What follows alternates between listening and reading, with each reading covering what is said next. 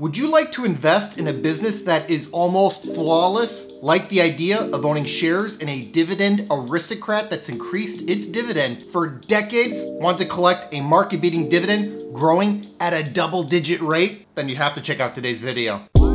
He is a best selling author. 30 year old Jason Fieber has a plan. This guy retired at only 33 years old. I don't know if I know too many people that have accomplished something like that he's really kind of a guru when it comes to passive income. Before I get into today's content, please give us a big thumbs up if you find value in our videos. Helps us to get the word out and grow the channel, and I'd really appreciate it. Also, make sure to stay tuned until the end of the video for a special news announcement. I want to tell you about a high quality stock that pays big, growing, reliable dividends. These growing dividends are funded by growing profit because this business is an asset manager benefiting and profiting from the upward slope of global equities. Asset managers operate incredible business models. They're exposed to global capital markets, which is where a ton of money is made. And then they collect fees on top of that, making it a very powerful one-two punch. Adding in all of the liquidity from stimulative fiscal and monetary policy almost makes it too easy. This business is almost a lock for higher profits and dividends over the long run. I personally invested in stocks just like this one on my way to going from below broke at age 27 to financially free at 33. Best of all, the stock looks undervalued right now. Price is what you pay, but value is what you get. Why is that important? Because buying a dividend growth stock when it's undervalued should provide for a higher yield, greater long-term total return potential, and reduced risk. With this in mind, I want to share with you an opportunity I recently came across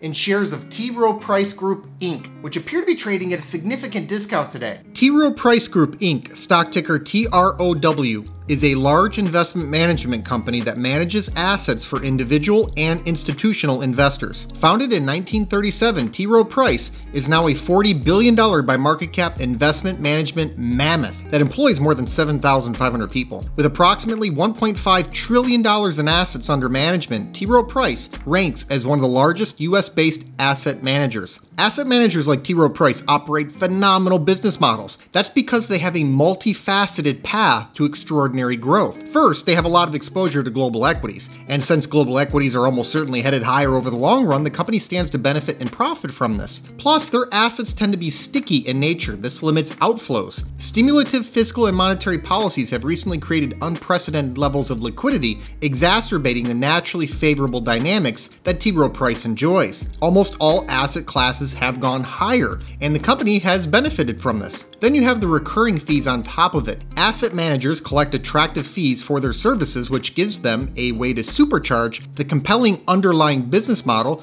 of being located in a rising tide of markets that's lifting all boats. While results can be somewhat lumpy from time to time as markets are volatile, the steady nature of fees helps to smooth things out. This one-two punch means the business is almost a lock for more profit over the long run, and more profit translates to higher higher dividends, which is exactly what you get here. The company has increased its dividend for 35 consecutive years, making them a dividend aristocrat. Even with the inherent volatility in markets, the dividend has been anything but volatile. The 10 year dividend growth rate is 12.8%, which is outstanding, and you're pairing that double digit dividend growth rate with the stock's market beating yield of 2.4%. Also, the dividend is quite safe. The payout ratio is only 43.3%. I view the sweet spot for a dividend growth stock to be a yield of between 2.5% and 3.5% paired with a high single digit or better dividend growth rate. This stock is basically right there. Looking at business growth, T. Rowe Price has increased its revenue from $2.747 billion in fiscal year 2011 to $6.206 billion in fiscal year 2020. That's a compound annual growth rate of 9.48%. This is outstanding. I usually look for a mid single digit top line growth rate from a mature business like this, but the company blew that out of the water. Meanwhile, earnings per share advanced from $2.92 to $9.98 over this 10 year stretch, which is a compound annual growth rate of 14.63%. Very, very impressive. The company has been mildly acquisitive, but I see most of this growth as being the result of just an incredible business. A combination of margin expansion and buybacks drove excess bottom line growth. Regarding the latter, the float's been reduced by approximately 12% over the last decade. Looking forward, CFRA believes that T. Rowe Price will compound its earnings per share at an annual rate of 11% over the next three years. CFRA cites key tailwinds as being the company's strong relative investment performance and the popularity of their target date retirement funds. Giving further context to the performance angle, 77% of the company's fund assets under management was beating peers over the last 10 years as of the end of 2020 per Morningstar. Adding color to the other point, two thirds of the company's assets under management is comprised of retirement accounts and variable annuity investment portfolios. These are long duration assets with a low likelihood of ending up in outflows. A key headwind that CFRA sees is the fact that more than 60% of T. Rowe Price's assets under management is in equities, exposing the company to that volatility. While CFRA's near term earnings per share growth forecast would represent a slowdown compared to the last decade, I think the caution is prudent and warranted. Almost all asset classes are elevated. The US stock market is near all time highs, and the last decade has been very kind to asset managers. Still, an 11% earnings per share compound annual growth rate could provide for similar dividend growth, which would be a very appealing outcome over the foreseeable future. Pairing double digit dividend growth with the stock's market beating yield is a compelling aggregate income and total return story here. Moving over to the balance sheet, the company has an excellent financial position. There's no long term debt. Profitability is also very robust. Over the last five years, the firm has averaged annual net margin of 32.67% and annual return on equity of 28.52%. There's almost nothing to fault here. It's almost a flawless business. And with scale, performance oriented brand value, and switching costs that keep assets sticky, the company does benefit from competitive advantages. Of course, there are risks to consider. Regulation, litigation, and competition are omnipresent risks in every industry. The biggest risk here might be the very business model due to the high amount of volatility exposure from markets. There's also cyclical risk here. A pronounced recession would hurt asset valuations, assets under management, fees, and profits. The overall shift to passive investments reduces demand for active management and the associated fees. I view the company's size as also working against them in some ways as the law of large numbers starts to creep in and make it more difficult to meaningfully grow assets under management in relative terms. Overall, I see these risks as manageable and more than offset by the quality of the business. The valuation only adds to the appeal. The stock's price earnings ratio is 17.9. That's materially below the broader market's earnings multiple. While it's actually higher than the stock's own five year average price earnings ratio, I think this is a case where the market simply got it wrong before.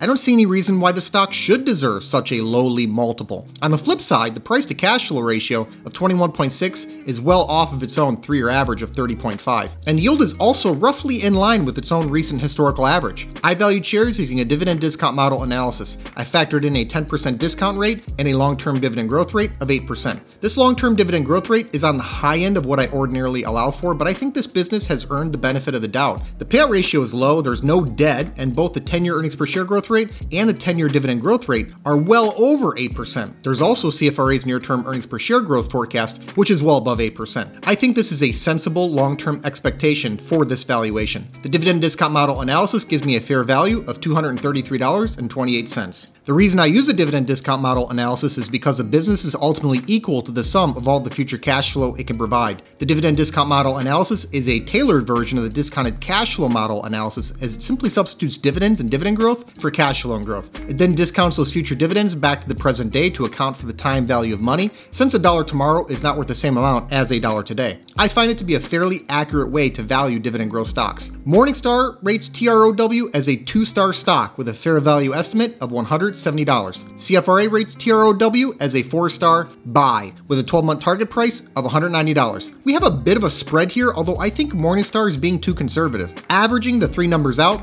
gives us a final valuation of $197.76, which would indicate the stock is possibly 10% undervalued. Here's the bottom line, guys T. Price Group Inc. is a nearly flawless business directly benefiting from all of the excess liquidity. They've built a high quality business that layers an attractive fee structure on top of the naturally favorable exposure to capital markets. With a market beating yield, 35 consecutive years of dividend increases, a low payout ratio, a double digit dividend growth rate, and the potential that shares are 10% undervalued, this dividend aristocrat should be strongly considered by dividend growth investors right now. And now for a special news announcement. Crown Castle International Corp, stock ticker CCI, just announced a blowout quarter with a 20% year over year increase in adjusted funds from operations per share. And they increased their guidance for this fiscal year. We put out a video not long ago highlighting this name as a great long term 5G play. And this recent quarter only reinforces that view. Thanks so much for watching. I hope you enjoyed today's video. Give us a like if you did, and let us know in the comments what you think about this stock. Please make sure to subscribe to the channel and ring that notification bell so that you don't miss out on new content. Also take a look at the description box below for some important links, including a link to my personal stock portfolio. This six-figure portfolio, which I call the FIRE Fund, generates enough passive dividend income for me to live off of. It allowed me to retire in my early 30s. I've made my portfolio entirely accessible over a Patreon, and I also post alerts there whenever I buy or sell a stock. I put my money where my mouth is and I'm often invested in the same high quality dividend growth stocks that I make videos on. Over the years, I've heard from thousands of investors who've been profiting from many of the same exact stocks that I own. So if you think this is something that you could benefit from as well, check the link in the description to see my portfolio and start getting my buy and sell alerts. I'll see you next time.